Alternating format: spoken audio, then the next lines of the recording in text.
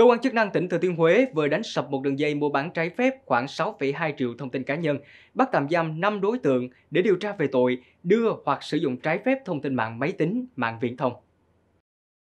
Theo điều tra ban đầu, Lê Đức sinh năm 1988, đóng vai trò quản lý nhóm, chịu trách nhiệm tìm kiếm nguồn cung cấp dữ liệu cá nhân,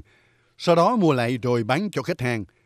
Các đối tượng Nguyễn Thanh Quý, sinh năm 1984, Ngô Thị Hồng Nhung, sinh năm 1998, Thấy Thị Quanh, sinh năm 1999, được giao nhiệm vụ lọc sắp xếp các nguồn dữ liệu, kiểm tra tình trạng của các tài khoản đã mua và đăng quảng cáo trên mạng xã hội. Còn đối tượng Nguyễn Thị Huyền Trang, sinh năm 1987, cung cấp nguồn dữ liệu chính cho nhóm của Lê Đất. Từ tháng 11 năm 2020 đến thời điểm bị bắt giữ, các đối tượng đã mua và quản lý khoảng 6,2 triệu thông tin dữ liệu cá nhân. Tổng số tiền giao dịch trên 3 tỷ đồng, số tiền thu lợi bất chính trên 2,3 tỷ đồng. Ngoài ra, các đối tượng còn sử dụng tài khoản truy cập trái phép vào mạng riêng nội bộ của một công ty tài chính để kiểm tra trạng thái hồ sơ khách hàng đã từng dây tại ngân hàng.